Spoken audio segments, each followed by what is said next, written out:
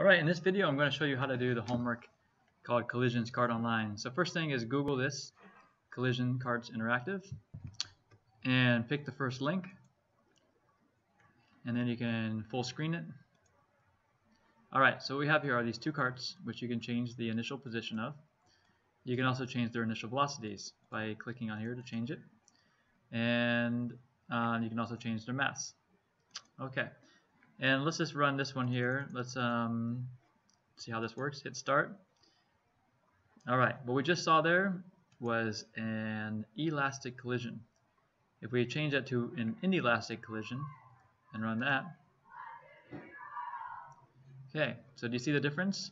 That in elastic they bounce apart and in inelastic they stick together. So that will help you answer preliminary question number three. And for number two, think about um, these as being vectors, velocity. And momentum, because it equals mass times velocity, is therefore also a vector, so it can be negative. And let's do this scenario number one. Alright, so we have equal masses, one object at rest, another colliding into it. So let's go over back to here. We'll make the red one be at rest.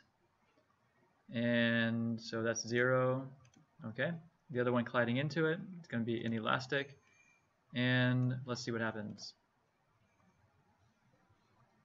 Okay, let's pause that and reset that. So we're going to plug these numbers into the chart that's on your paper. So let's go back to that. Okay, so the mass for the red object is 1 kilogram. The blue object is also 1 kilogram. The velocity for the red one is 0 and the blue one was negative 5 meters per second. So to calculate the momentum, we're going to do mass times velocity equals momentum.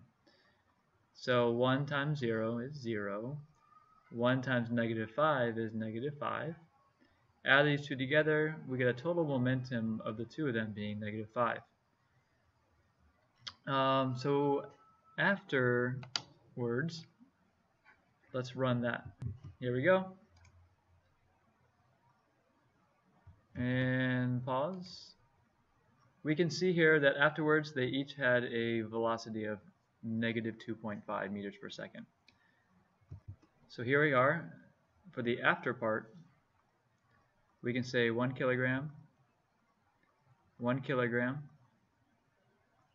and the red one had negative 2.5 meters per second, the blue one had a velocity of negative 2.5 meters per second. Oops, that was, let me fix that. And when we multiply these, we get 1 kilogram times negative 2.5 meters per second is negative 2.5 meters per second.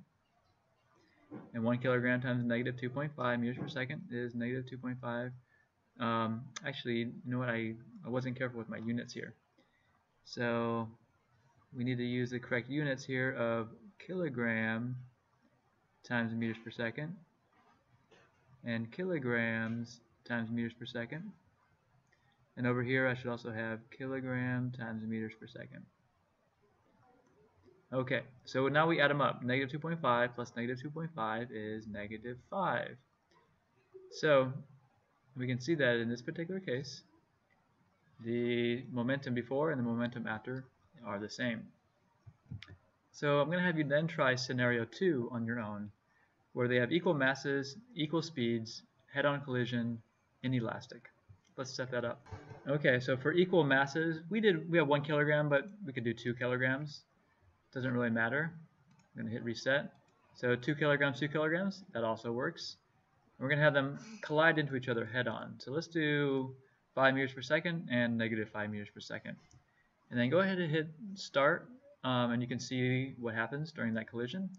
I'm going to um, help you fill in the chart and then you can take over from there.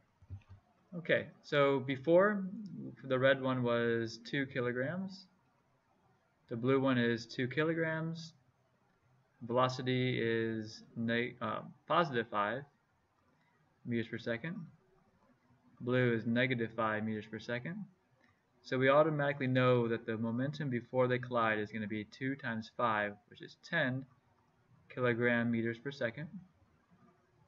And 2 times negative 5 is negative 10 kilogram meters per second. Um, and we can also add up to find the total momentum. 10 plus negative 10 is 0. And one thing I forgot to do in our first scenario is to write a description of the outcome. So we can write that the red one um, gained